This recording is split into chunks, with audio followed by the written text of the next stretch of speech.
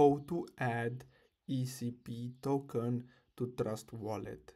So basically what you're gonna have to do is simply go to Trust Wallet and scroll down and tap on manage crypto.